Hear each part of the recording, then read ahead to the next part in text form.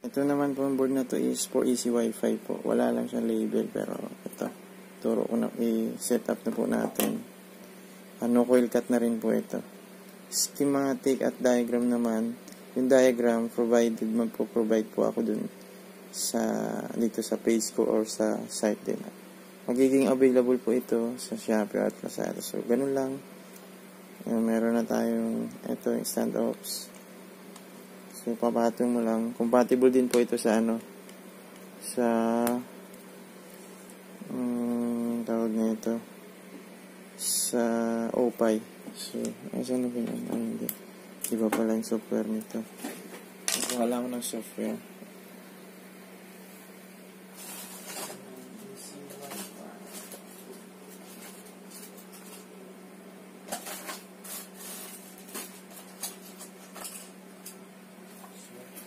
Ito yung software niya, si Wi-Fi. So, ayun, naka-USB lang po tayo. So, pag set up ng ano kasi no coil cut na rin ito. Ayan, ganito lang.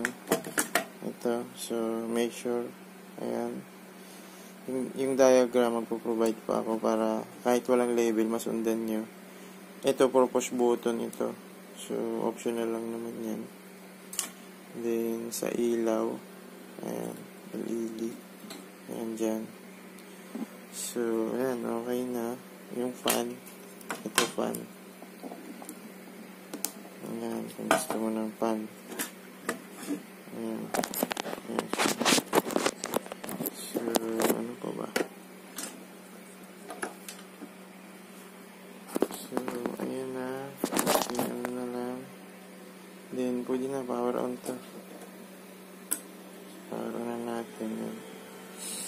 Nakikita mo yan kung nabubot na maayos. Ayan. Kung nabubot siya ito. Kailangan mag-green ito. Ayun. So, umilaw yung isa. Pag mag-blink na yan, so sabihin yung state niya is uh, reading or booting. Parang ganun. Ayan. So, ayan o. Nakita niyo. So, antayin natin na mag-boot up siya ng maayos. Malalaman natin yan pag namatay itong ato. Pag namatay itong blue at ito. Ayan. Ayan, tingnan natin. Hanggang ganyan kadali. Ito naman sa Easy Wi-Fi. Yung board na to. Pwede kayo mag-order. Ayan, nag-boot na siya. Sa Shopee or sa Lazada. Or directly mismo po sa page ko. So, subukan na natin yung Easy Wi-Fi.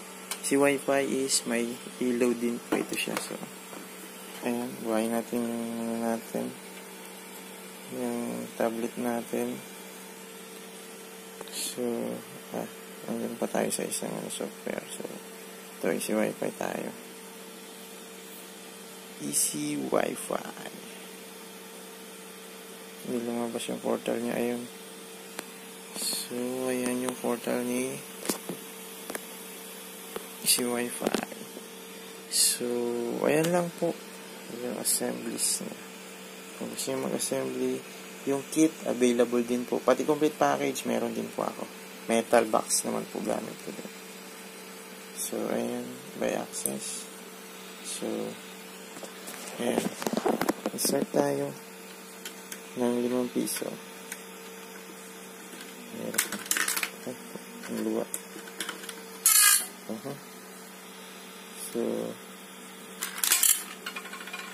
so, ayan. So, so, nag-credit na siya. Ayan, kung 1 hour. So, ganun lang po. So, ayun na. Meron ka ng access internet. So, prepaid load. Ayan, po yung features. Sa features naman ng mga ano, about, about, about software. Pa, punta na lang po kayo sa site nila. Nandun po yung mga features ng bawat software na gusto nyo. Uh, mga available kong custom board. Ito, Piso Pie. Ayan tayo. Ado. LPB, meron din po ako. At ito, Easy Wi-Fi. Meron din.